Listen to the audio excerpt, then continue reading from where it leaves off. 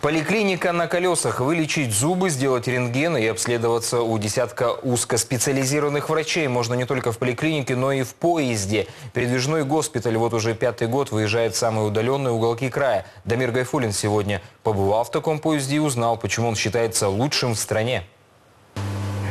Голубое южное небо, мутно. Ослабло зрение сразу к офтальмологу. Попасть в больницу жители удаленных районов края могут не всегда. Поэтому за медицинской помощью прямой наводкой в поезд здоровья. Сегодня доктор Война Есенецкий прибыл в Манский район. Прием ведут 17 врачей, от хирурга до уролога. В день через них проходит до 150 человек. Это очень нужно, потому что население у нас небольшое, в основном люди пожилые. В больницу ехать или в район день терять. Там отсидишь и не попадешь еще. А здесь все на месте, все прекрасно. Я сюда все время хожу.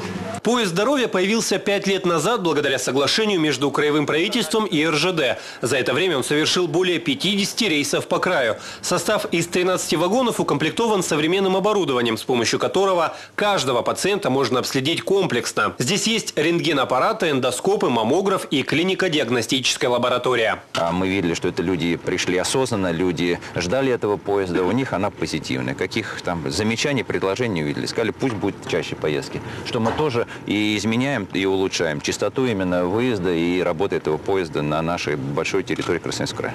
Всего на железной дороге пять таких передвижных госпиталей, но Красноярский считается лучшим. Доктор Война Есенецкий первым из них вошел в систему обязательного медицинского страхования. Проще говоря, сейчас действует как обычная поликлиника. В каждом деле, чтобы что-то создать, нужно вложить душу.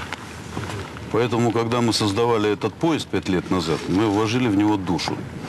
И эта душа здесь прослеживается. Поэтому он и лучший. Есть в поезде здоровья вагон, который даже располагается обособленно и выглядит несколько иначе. В нем размещается храм. Эта церковь внешне не слишком отличается от обычных, а может быть даже краше. Здесь также проводятся службы, крестят детей и даже совершают венчание молодоженов. Лучших работников поезда здоровья с юбилеем сегодня поздравил губернатор и начальник железной дороги. Они получили благодарственные письма, часы и фотографии на память. Кто не растерялся от такого внимания.